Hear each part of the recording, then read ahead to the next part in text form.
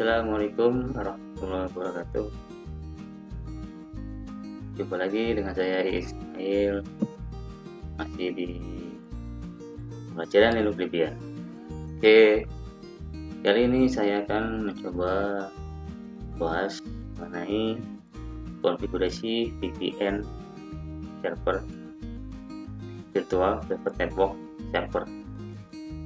Baik teman-teman dan adik-adikku langsung saja yang pastinya teman-teman dan adik-adik sudah membuka virtualbox-nya dan login ke Debian seperti yang punya saya di sini. Statusnya sudah login di root Debian. Oke. Seperti biasa, langkah pertama kita ambil ISO Debian Sudah di sini kita langsung ke device, file drive. Nah untuk eh, penginstalan aplikasi VPN server yaitu menggunakan paket aplikasi yang bernama PPTPD berada di eh, ISO 2. Oke kita checklist dan perintah pt cd-rom dd kemudian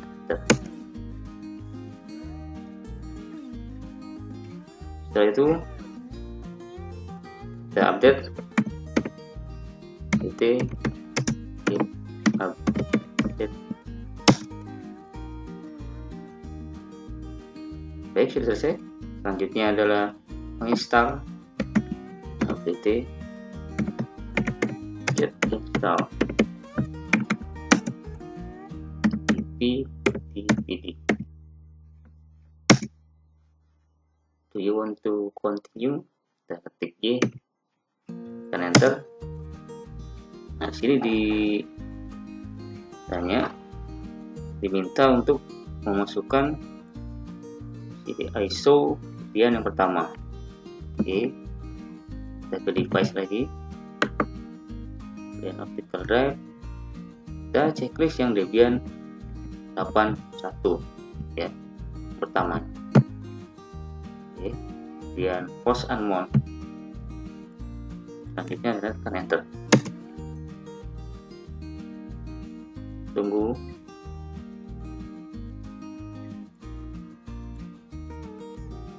Nah, selanjutnya kita akan diminta untuk ke ISO Debian 2 lagi. Untuk ISO 2, Debian 8 ISO 2. Kita kembali ke device dan ke ini lagi kedua lagi. Nah, ini post unmount.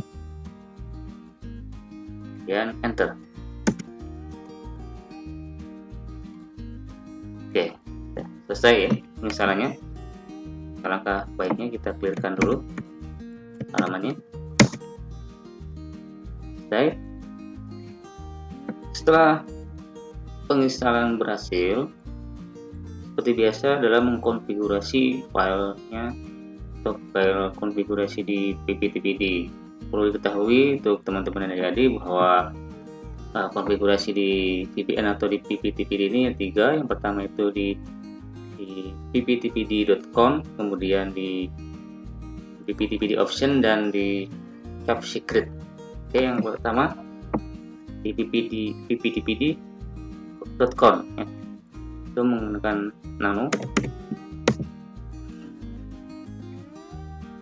Nano slash etc. Ppdpd.com yes.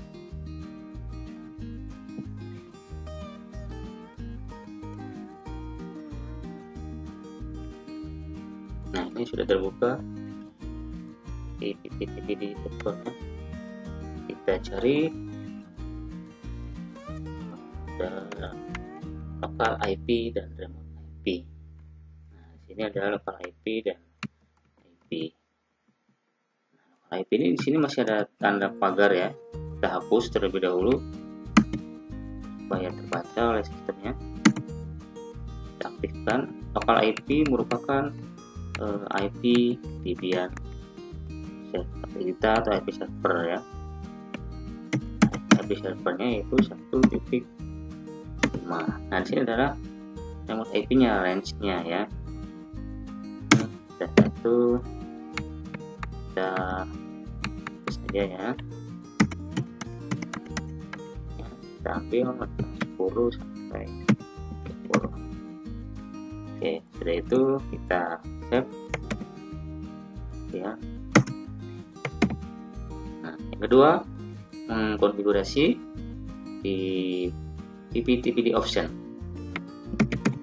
Anu slash etc. TP P P enter. Nah di sini kita akan memasukkan script. Script tambahan.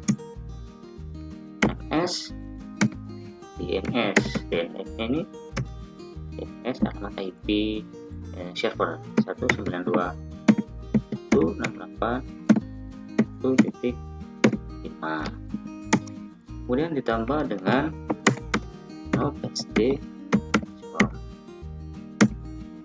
yang juga memasukkan kemudian masukkan juga MTU itu 1190 kemudian MRU plus 10 setelah itu kita save lagi. Perfect. Oke.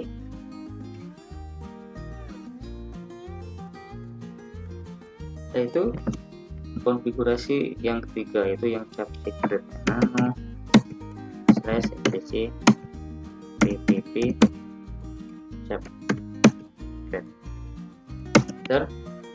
nah di sini klien itu nama kliennya nama username-nya ya. Saya akan memberikan nama Ismail. Kemudian tekan tab lagi tab nah di sini kita tambahkan bintang. Kemudian tab lagi. Nah secret ini passwordnya saya kasih password 123 kemudian tab sini kita kasih bintang lagi. Sudah cukup ini aja dan di save. Oh setelah di sini kita melakukan restart TV-TV-nya agar bisa berjalan. Setelah mengkonfigurasi ketiganya kita restart TV-TV-nya ya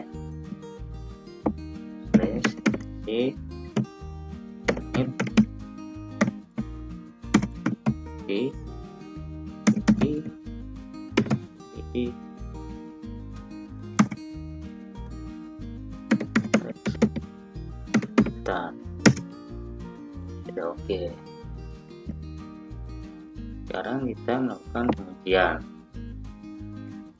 Pengujian kita cek dulu koneksi dari Windows Discovernya cd ping itu dua itu delapan itu titik Oke, sudah terhubung.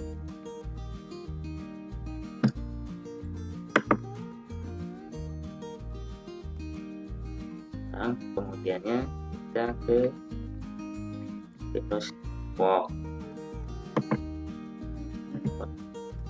Ke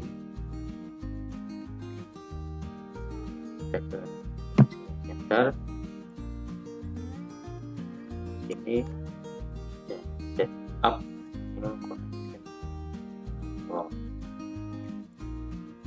Dan ini ke connect to workplace setup dial of setup for VPN connection kemudian next. Ini how do you want to connect? Kita memilih use my internet connection VPN kemudian do you want to set up internet connection before continuing jadi I'll set up an internet connection.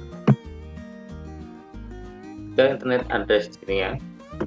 Your network authorization can give you this address kita masukkan IP server kita. Itu 192 168 titik business name nya oke VN Ismail. Oke lihat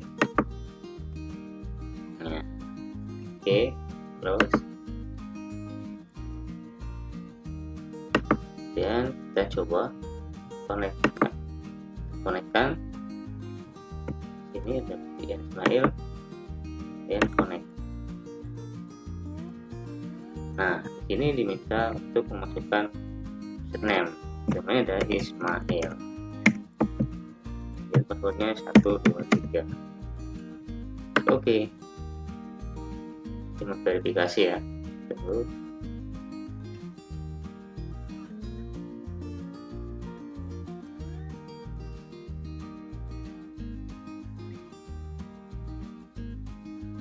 yes. Ini sudah terkoneksi ya. VPN Ismailnya. Oke untuk mengeceknya coba kita lihat di sini. Ini sudah terhubung ya sudah terkoneksi. Untuk mengetahui di IP nya VPN kita yang sudah terkoneksi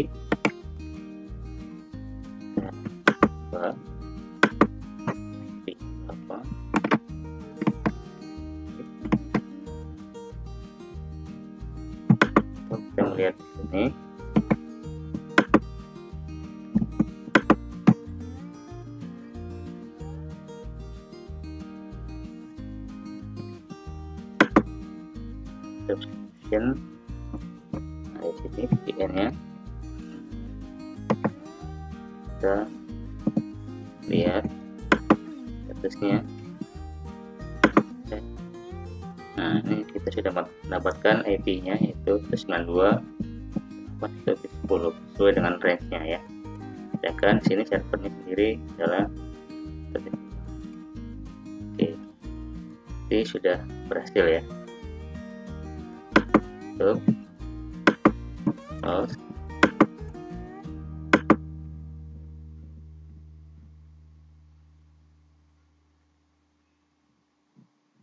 nah itulah teman-teman dan adik-adik konfigurasi server VPN server kita telah sukses ya. Oke sampai jumpa di pertemuan berikutnya. Tetap stay tune di channel Is Ismail.